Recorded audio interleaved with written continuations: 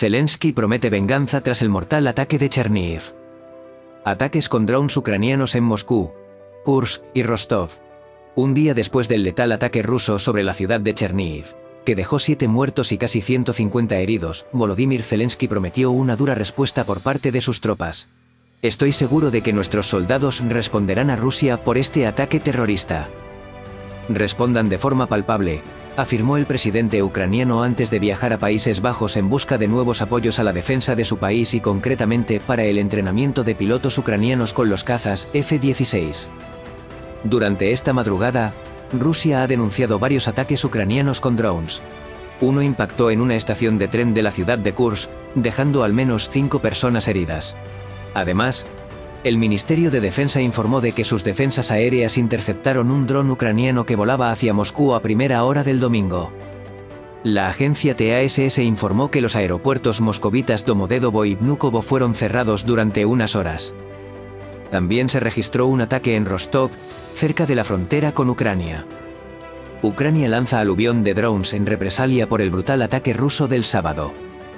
Ucrania lanzó este domingo un ataque con drones contra varios puntos de la retaguardia rusa, incluido Moscú, en represalia contra el bombardeo enemigo la víspera contra un teatro de la ciudad norteña de Chernihiv donde murieron siete civiles y casi 150 resultaron heridos. El presidente ucraniano, Volodymyr Zelensky, había adelantado anoche que su ejército respondería como se merece a un ataque con misiles que tachó de atentado terrorista. Zelensky se acordó en especial de una de las víctimas mortales, Sofía, una niña de 6 años que se ha convertido en símbolo de la brutalidad de los bombardeos enemigos. En el marco de su visita a los Países Bajos, cifró en más de 10.000 los misiles y drones lanzados por el ejército ruso contra territorio ucraniano desde el inicio de la campaña militar el 24 de febrero de 2022.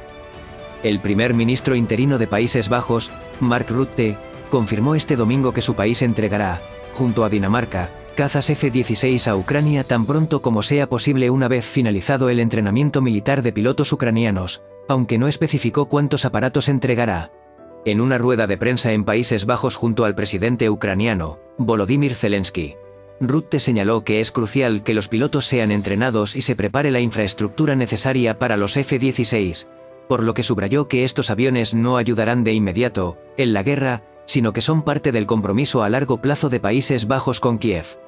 Y hasta aquí las últimas novedades de la guerra en Ucrania, dale a me gusta al vídeo y no olvides suscribirte para no perderte ninguna noticia.